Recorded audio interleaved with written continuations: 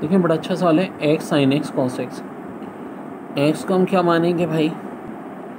um, देखो ज़्यादा बेहतर ये कि पहले एक स्टेप कर लो। टू से मल्टीप्लाई डिवाइड ये मेरे जहन में क्यों ख्याल आया? दो बजाय ट्रिग्नोमेट्रिक फ़ंक्शन के एक हो जाएगा। अब यहाँ पे ये हो जाएगा two sine x cos x जो कि ट्रिग्नोमेट्री का फार्मूला है साइन टू एक्स अब एक्स को मैं मान लूँगा यू और इसको मान लूँगा वी फार्मूला कहता क्या है? पहले यू फिर वी का इंटीग्रल तो इसका मतलब है मेरा जो एक्स है, ये यू है। ये आ गया। वन बाई टू को मैं एंड में मल्टीप्लाई करूँगा, ठीक है? ये मैंने लिख दिया। और वी साइन टू एक्स का integration minus cos two x upon two ठीक है भाई? फिर माइनस इंटीग्रेशन का निशान ये रहा।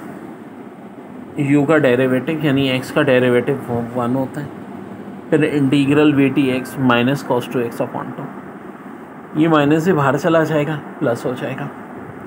अब यहाँ से देखो, minus x by two cos two x plus one by two sine two x plus c finally लेकिन एक स्टेप मैं और करूँगा। वो क्या स्टेप होगा भाई मेरा? ये वन बाई टू से अंदर मल्टीप्लाई करूँगा। ये मैंने नहीं किया था। एंड में कर दूँगा और मेरा आंसर आ जाएगा।